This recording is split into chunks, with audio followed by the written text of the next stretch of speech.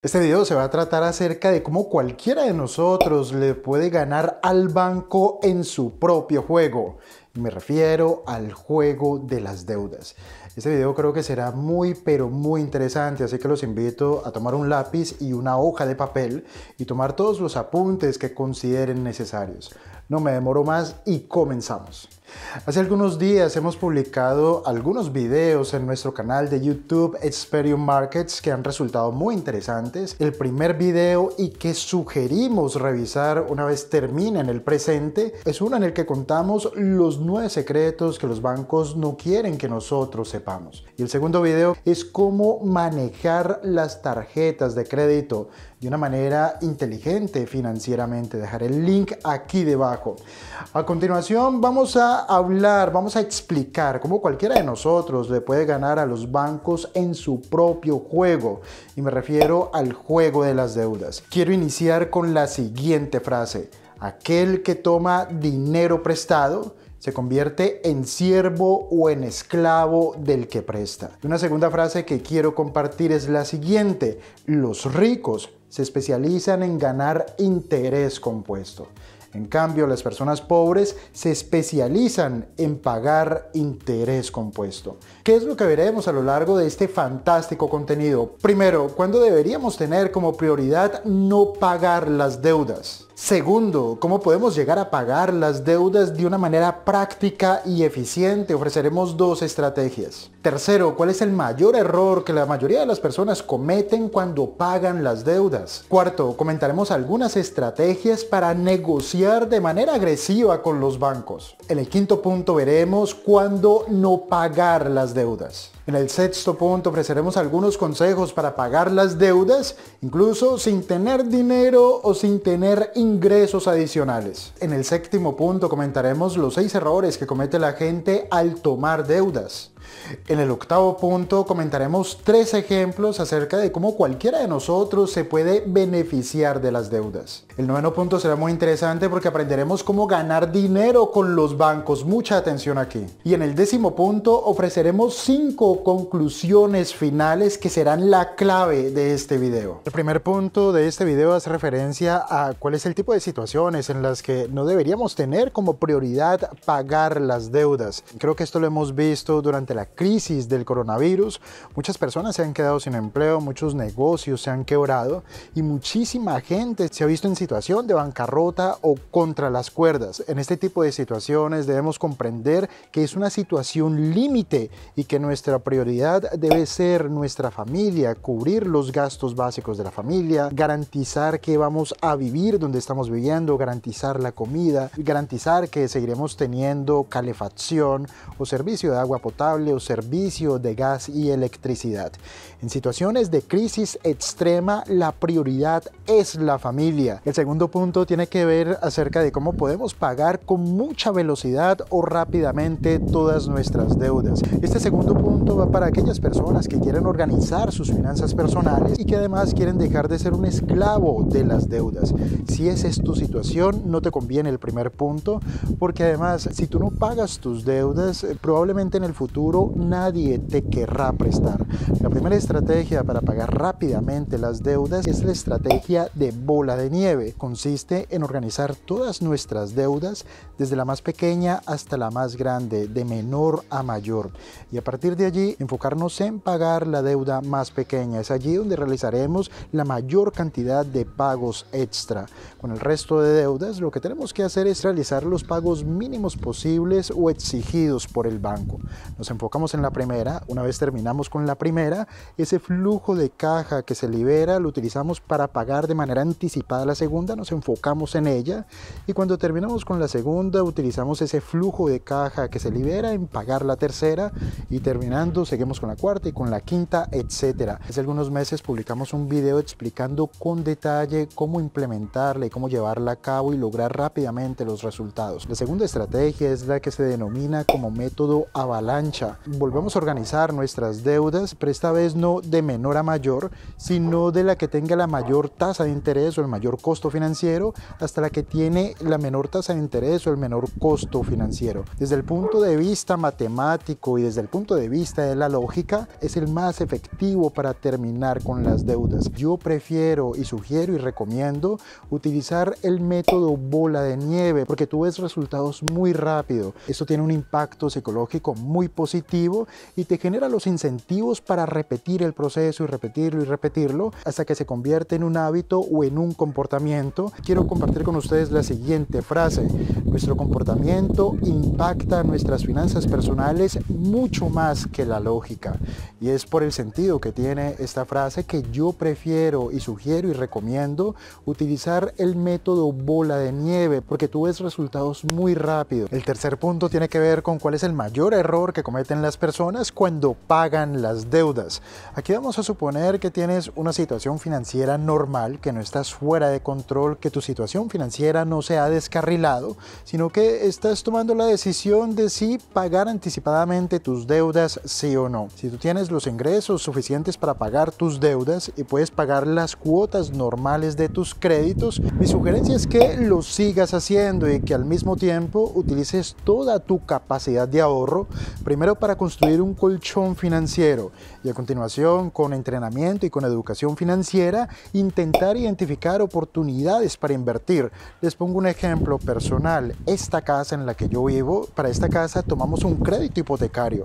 El coste financiero o el tipo de interés de este crédito hipotecario es del 1,5%. Nosotros teníamos el dinero para comprar la casa en metálico o en efectivo. Entonces piensen en lo siguiente tomo el crédito hipotecario al 1,5% y el dinero que no utilizo propio que no utilizo para comprar la casa, lo uso para identificar oportunidades en bolsa. Y es probable que estas oportunidades en bolsa, con inteligencia financiera, con entrenamiento, con criterio, es probable que estas inversiones en bolsa me ofrezcan una rentabilidad superior al 1,5%. Aquí la clave para preferir construir colchón financiero o para preferir invertir tu dinero en activos en lugar de pagar de forma anticipada tus deudas, la clave es tu educación financiera. Si no tienes criterio para invertir, sencillamente dedica tu capacidad de ahorro a la construcción de un colchón financiero. Pero es que además hay un factor psicológico que es bien interesante. Realmente pagar las deudas no hace feliz a nadie o, no es algo realmente sexy. En cambio, cuando tú inviertes en algo y ves ese algo cómo crece, eso sí que es sexy y eso sí que es positivo y esto sí que puede encarrilar tu situación financiera de manera definitiva. Tener en cuenta que las personas ricas, las personas que tienen educación financiera, no utilizan realmente su propio dinero para invertir. Lo que hacen es tomar el dinero de terceros para invertirlo en activos productivos. ¿Por qué lo hacen de esta manera? Porque cuando tú ganas dinero con el dinero de terceros, la rentabilidad es prácticamente infinita. Si tú estás en la dicotomía de tomar la decisión de si ahorrar y construir tu colchón financiero o pagar tus deudas, te sugiero Primero construir tu colchón financiero y después con entrenamiento buscar oportunidades para invertir, pero este es un proceso largo, difícil, pero que merece la pena. Y hablando de inversiones, si te apetece puedes tomar nuestro curso gratis de bolsa que debajo te dejo un link con el enlace. Son solo 15 videos en los que explicamos los conceptos clave de las inversiones que tienen el objetivo de construir el criterio necesario para tomar mejores decisiones, decisiones de mayor calidad que nos pueden llevar a mejores resultados. Debajo el link lo solicitas y lo enviamos a tu correo electrónico. El cuarto punto es muy interesante porque tiene que ver con estrategias para negociar con el banco. Tienes que saber que todo se puede negociar y que en esta vida uno no tiene lo que se merece, uno obtiene lo que negocia. Y cuando estamos hablando de bancos, dos consejos. El primero, tienes que saber lo que vas a negociar. No puedes aparecerte en el banco o no puedes tener una reunión con los abogados del banco o con la gente de cobro jurídico con la cabeza vacía. Tienes que comprender cuál es el tipo de crédito que te han entregado, tienes que saber cuál es el tipo de papeles que has firmado tienes que comprender claramente cuáles son las condiciones originales de ese préstamo. No permitas que los abogados de cobro te sorprendan con la información. Debes ir preparado y aquí tener en cuenta lo siguiente y es cuánto tiempo llevas sin pagar. Si llevas sin pagar entre un mes y seis meses, seguramente tu crédito o tu expediente todavía se encuentra en el banco, todavía tu crédito está en poder del banco. Incluso también si llevas un año de mora con este crédito. Pero si tu crédito ya lleva más de un año o más de dos años, seguramente el crédito ya no es del banco que lo otorgó, sino que es muy probable que el banco le haya vendido tu crédito a una oficina especializada de cobro. Cuando los comienzan a vender, sus ratios de calidad crediticia comienzan a mejorar. ¿Qué es el ratio de calidad crediticia para el sistema bancario? Es la proporción que existe entre los créditos de difícil cobro y la cartera que es normal o que está al día. Si la cartera total vale 100 y los créditos de difícil cobro valen 5, entonces el ratio será del 5%. Si comienzan a vender esa cartera vencida a compañías especializadas en el cobro de carteras vencidas o de difícil cobro, el ratio por lo tanto comienza a mejorar. La única forma es ofrecerle a estas compañías especializadas en su cobro, es ofrecerle un descuento en la compra. Por ejemplo, si la cartera vale 100 mil, probablemente estas compañías especializadas la comprarán en 20 mil. Es un gran descuento. Esta información, ¿por qué es importante? Porque si tu crédito ya está en poder de una de estas compañías especializadas, tú ya no tienes que negociar el valor real de tu crédito, más los intereses vencidos, más las comisiones de cobro. Lo que tienes que saber es que la negociación debe ser por un valor mucho menor porque estas empresas compraron tu crédito por un valor mucho menor. Y para ellos ganar dinero cobrando tu préstamo, no tienen que cobrar el valor real de tu crédito, sino que cualquier número por arriba de lo que ellos pagaron será ganancia. Por ejemplo, si tu crédito original vale 5 mil dólares, probablemente esta compañía ha comprado tu crédito por 500 dólares. Esto es importantísimo que lo entendamos. Si tú tienes un crédito vencido y vas a negociar con el banco y te enteras que tu crédito ya no está en poder del banco, porque ha pasado mucho tiempo, se ha vencido y tu banco ha vendido esta cartera a una compañía especializada en su cobro, tienes que saber que probablemente ellos han comprado esta cartera por la décima parte de su valor real y es allí donde tú tienes que comenzar la negociación. Entonces tú tienes que comenzar a negociar bien abajo porque ellos la compraron bien abajo. Con esa información tenemos que jugar. Si este solo tip te ha parecido de valor, aprovecha y déjanos un gran me gusta comparte este video en tus redes sociales y suscríbete a nuestro canal si todavía no lo has hecho. Hagamos que esta información llegue a la mayor cantidad de personas posibles. El quinto punto tiene que ver con aquellas en las que no es necesario pagar los préstamos. Mi manera de pensar es que siempre deberíamos ser responsables de los préstamos o créditos que nos han sido concedidos. A pesar de que tengamos una mala impresión de los bancos o del sistema financiero, ellos cumplen una función y en un determinado momento de nuestra vida nos ofrecieron la confianza para prestarnos dinero, para seguir estudiando, para eh, comprar un auto, para comprar nuestra casa o para llevar a cabo incluso algún emprendimiento. Creo que debemos actuar de manera responsable. Lo que voy a decir a continuación cambia de país a país según la normativa y la legislación, pero en la mayoría de los países, después de pasar determinados años en mora, en la mayoría de los países los créditos prescriben pasados cinco años, pero además en muchísimos países existen leyes del estilo una segunda oportunidad, lo que quiere decir que empresas particulares o familias que hayan pasado por situaciones económicas difíciles y que esto les haya impedido pagar sus créditos de manera normal, tendrán una segunda oportunidad, lo que quiere decir que en la práctica serán borrados de las centrales de riesgo y serán nuevamente aceptables para el sistema financiero como sujetos de crédito. El sexto punto tiene que ver con cómo pagar las deudas sin tener dinero o ingresos adicionales. Pero antes de comentar los siguientes tips, quiero decir lo siguiente. De nada sirve pedir bendiciones a Dios si no haces nada para captar esas bendiciones. Y remato con esta frase, pedir al Eterno pero trabajar duro para producirlo. En este punto recordemos siempre que las deudas esclavizan y que quien toma dinero prestado se convierte en el siervo del que presta. Y lo que voy a comentar a continuación son cuatro sugerencias o consejos para terminar de pagar tus deudas incluso sin tener ingresos adicionales. Y el primer consejo se denomina arregla las tuberías y esta estrategia consiste en revisar todo que esté bajo tu control y que probablemente te esté haciendo perder dinero sin darte cuenta. Esta estrategia de arregla las tuberías tiene dos vertientes. La primera es el punto A, que consiste en reducir el tipo de interés que pagas por tus préstamos. Y la segunda vertiente de la estrategia de arregla las tuberías es revisar tus cuentas bancarias, si estás pagando comisiones que no necesitas pagar o si estás pagando seguros que no necesitas tener. El segundo consejo para pagar tus deudas, incluso sin dinero o sin tener ingresos adicionales, es reduciendo tus gastos.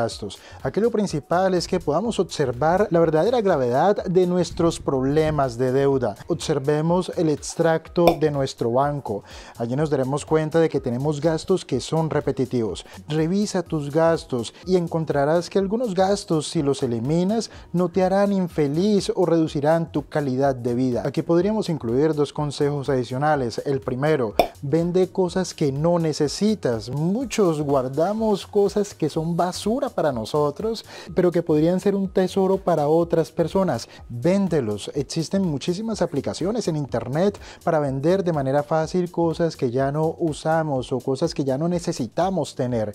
Un segundo consejo en este sentido es aumentar los ingresos. Yo creo que esta es una estrategia vital. Puedes aumentar los ingresos solicitando un aumento o solicitando un ascenso. Pero ten en cuenta que los aumentos y los ascensos estarán en función del valor que tú entregas a la sociedad o de la cantidad de valor añadido que entregas a la empresa en la que trabajas. Y ahora vamos con el tercero que se me hace muy interesante y es cuál es la forma de pagar rápidamente nuestras deudas. En este caso existen dos estrategias que son muy interesantes y la primera es la estrategia de la bola de nieve que consiste en organizar todos nuestros créditos desde el más pequeño hasta el más grande. La segunda estrategia es el método avalancha que consiste en organizar tus créditos pero ya no en términos de montos sino en términos del tipo de interés. Y comenzaremos por aquellos créditos que tienen un mayor tipo de interés e iremos hacia abajo. Y el cuarto consejo para reducir deudas sin dinero y sin ingresos extra es encontrar estrategias para evitar endeudarnos. Y esto consistiría más en una estrategia para anticiparse más que para solucionar el problema que ahora tenemos. ¿Cómo podemos evitar endeudarnos aplazando las decisiones para consumir algo o para comprar algo y enfocándonos en la construcción de un colchón financiero? También nos podemos anticipar a los gastos inesperados. Estimados, antes de continuar, si este video te está pareciendo de valor, tal vez te podría convenir seguirnos a través de nuestra cuenta de Instagram arroba Experium Markets. Es una cuenta dedicada a las finanzas personales, a la educación financiera, al emprendimiento y al liderazgo. Constantemente estamos compartiendo información de alto valor. Recuerda, Instagram arroba Experium Markets, link aquí debajo. En el séptimo punto vamos a comentar cuáles son los seis errores principales que comete la gente al momento de tomar las deudas. Y el primer error o el primer punto consiste en pagar una deuda con otra deuda. Este error es catastrófico, pero dentro de esta catástrofe, el peor de todos consiste en retirar dinero en efectivo con tu tarjeta de crédito para pagar las cuotas de tus otros préstamos. Dentro de este primer punto ofrezco tres sugerencias. La primera de ellas es busque estrategias para reducir los tipos de interés de tus actuales préstamos. La segunda sugerencia es que consolides tus actuales créditos. Consolidar significa agrupar. Y la tercera estrategia o el tercer consejo es que tomes un crédito con el banco A para pagar el crédito del banco B. Lógico, esto tendrá sentido si logras reducir los tipos de interés porque ahorrarás muchísimo dinero. Recuerda siempre lo siguiente, al que nunca pide, nunca le dan. El segundo punto de los seis principales errores que la gente comete al momento de tomar préstamos consiste en poner de primero a los acreedores por encima de la familia. Eso ya lo habíamos comentado al principio del video. Aquí la clave es que siempre será primero la familia. Y en este sentido ofrezco dos sugerencias. La primera de ellas es que te esfuerces por construir un fondo de emergencia. La segunda sugerencia es que busques alternativas para aumentar tus ingresos. Este punto es clave. El tercer punto consiste en pagar las deudas sin tener un plan. ¿Recuerdas la estrategia de bola de nieve y la estrategia avalancha que explicamos anteriormente? Cuando pagamos nuestras deudas teniendo un plan y además basándonos en los datos, logramos los objetivos financieros mucho más rápido. En el cuarto punto soy muy tajante, no uses más las tarjetas de crédito.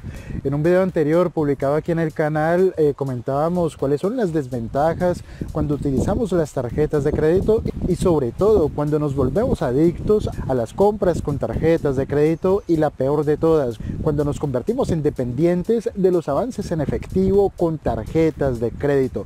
Las tarjetas de crédito son lo peor, no las uses más. El quinto punto hace referencia a posponer los pagos de tus préstamos.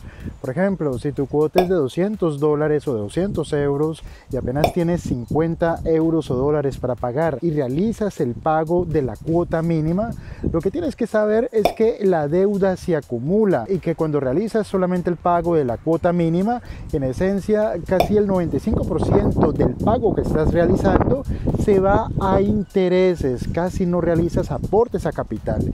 Y en este tipo de circunstancias la deuda se vuelve infinita. Es el tipo de situaciones más convenientes para los bancos y para los emisores de tarjetas de crédito. El sexto punto tiene que ver con no crear un presupuesto. El principal riesgo que conlleva no tener un presupuesto es que tus gastos se pueden desbocar. ¿Cómo se financian estos gastos? Si superan tu línea de ingresos, se financian con deuda, se financian con tarjetas de crédito, se financian con todo tipo de préstamos. Recuerden siempre esto, el que falla en planear, planifica para fallar. La única manera de controlar nuestra vida financiera es teniendo un presupuesto. Y para finalizar esta parte comparto el siguiente plus. No te escondas de los acreedores, no te escondas de los problemas. Enfréntalos, se les tienes que ir de frente. Los problemas no se resuelven escondiéndose. Los problemas no se resuelven mirando para otro lado. Los problemas se resuelven cuando con carácter y con actitud y teniendo los datos en las manos te vas de frente para solucionarlos. Y llegamos al octavo punto que creo que es uno de los más interesantes porque es la manera de comprender cómo cualquiera de nosotros se puede beneficiar de las deudas. Recuerda que las deudas para consumir te mantienen pobre. Y el primer punto que te quiero comentar para beneficiarte de las deudas es a través de la inversión. Pero en esencia, cuando me refiero a la inversión, me refiero a invertir en formación, en tu educación, en seminarios y en entrenamientos. En este tipo de situaciones no solamente adquieres conocimientos, sino que probablemente desarrollarás las habilidades o los skills para aumentar tu capacidad para generar ingresos, a que esto es una buena inversión. La segunda manera en la que te puedes beneficiar de las deudas es, por ejemplo, si vives en un país con elevada inflación, del estilo Venezuela o Argentina. Existen, por ejemplo, personas en Venezuela que toman préstamos o que utilizan la tarjeta de crédito para comprar productos, por ejemplo, que valen 100 unidades monetarias y como resultado de la elevada inflación los pueden vender al siguiente día en 200 unidades monetarias. Y la tercera manera para beneficiarse de las deudas es, por ejemplo, comprando una casa propia, que a largo plazo tienen un gran potencial de valorización. Llegamos al noveno punto que hace referencia a cómo ganar dinero con los bancos. Y en ese sentido quiero compartir con ustedes cinco ideas de inversión sobre acciones bancarias en los Estados Unidos. Pero recuerden que esto no son consejos o sugerencias de inversión. Cada uno de ustedes debe realizar su propio análisis y utilizar su criterio para identificar oportunidades. Este banco que ustedes están viendo en este momento es el Bank of America, que desde los niveles mínimos logrados durante la peor parte de la crisis por coronavirus se ha revalorizado hasta la fecha más de un 165%.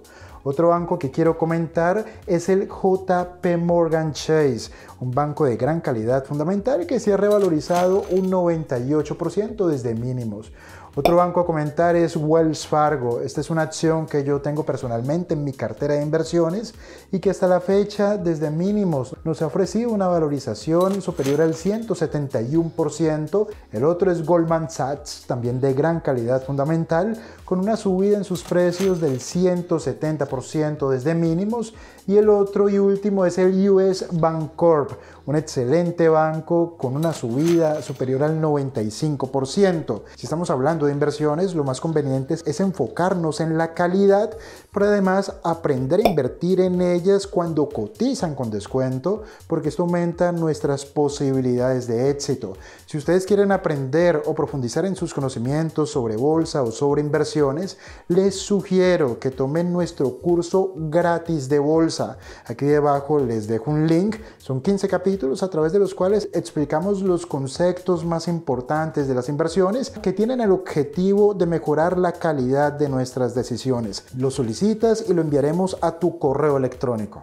Y llegamos al décimo punto que creo que es uno de los más importantes y es el tema de las conclusiones. La primera conclusión es que realices un seguimiento de tus gastos y esto incluye construir un presupuesto. La segunda conclusión es que eliminemos los gastos innecesarios y ahorremos. La tercera conclusión es que negocia tus deudas con los bancos, especialmente con el objetivo de reducir el tipo de interés. La cuarta conclusión, encontremos ideas creativas para generar ingresos extra. Y la quinta y última conclusión es que acabes con tus deudas cuanto antes. Hemos llegado al final de este video, espero que haya sido de mucho valor para ustedes. Si es así, déjanos un gran pulgar arriba y comparte este contenido con todas personas que consideres que lo necesiten. Recuerda que mucha gente está pasando por dificultades y necesitan conocimientos e ideas para salir del pozo.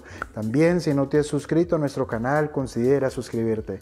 Me despido, muchas gracias por la atención y nos vemos en un próximo video. Hasta pronto.